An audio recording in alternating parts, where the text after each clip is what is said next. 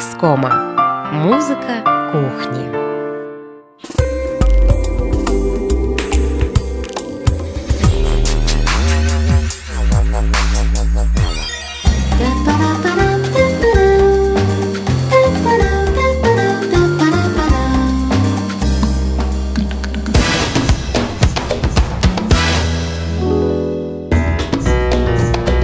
Понедельник выбор пал на печень. Нет, мы ее не будем атаковать алкоголем. Мы будем пытаться воспроизвести очень вкусное грузинское блюдо. Печень вообще очень полезная штука. Говяжья печень содержит достаточно много белка и незначительное количество углеводов. Ее калорийность значительно ниже самой говядины, хотя в печени содержится в 2,5 раза меньше жира, чем в тощей говядине. Количество холестерина в ней в 4 раза больше. В общем, будем витаминизироваться. Жареная печень в употреблении немного суховата, но мы это исправим луком. А чтобы окончательно зарядиться железом и добавить сочности, используем спелые гранаты. Но хватит разговоров, пора готовить ужин.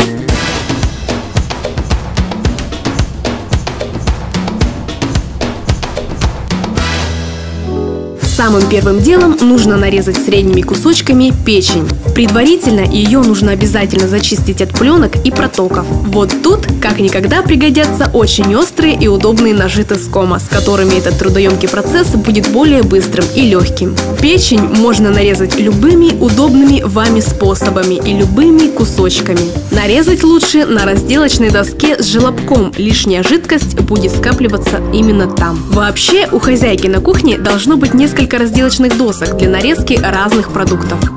Второй шаг – добыть зерна граната. Это очень трудоемкий и долгий процесс.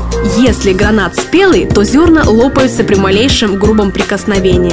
Поэтому лучше медленно и качественно. Сковороду ставим на плиту разогреваться с маслом. В этом рецепте мне нравится, когда используется сливочное масло и толстостенная сковорода.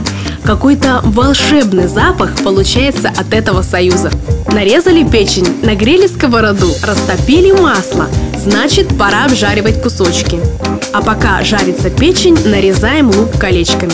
Для этого используем специальный держатель тескома. С ним без особого труда получаются ровные кольца.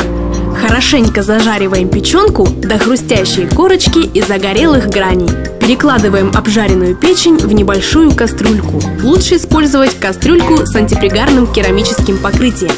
Закрываем крышкой, чтобы сильно не остывало, а на оставшемся масле обжариваем 2 трети нарезанного репчатого лука. Одна третья в свежем виде нам пригодится в дальнейшем. Собственно, нам осталось совсем чуть-чуть. Отправляем в кастрюльку с печенкой только что обжаренный лук. Доливаем пару столовых ложек воды и высыпаем 2 трети гранатовых зерен. Оставшаяся 1 третья нам тоже вскоре пригодится. Солим по вкусу. Оставляем кастрюльку с содержимым пропариться минут на 15 15 на небольшом огне. А в это время обжариваем стручковую фасоль. Ее можно не размораживать. Масло будет обволакивать холодные стручки и создавать при обжарке корочку. Внутри же фасоль будет нежной и сочной.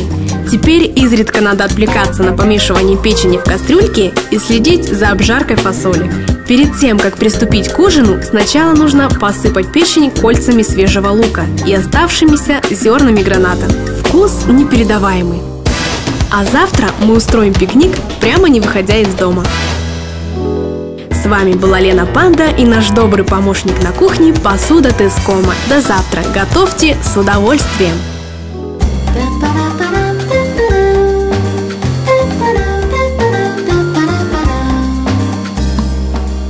Сеть магазинов Тескома.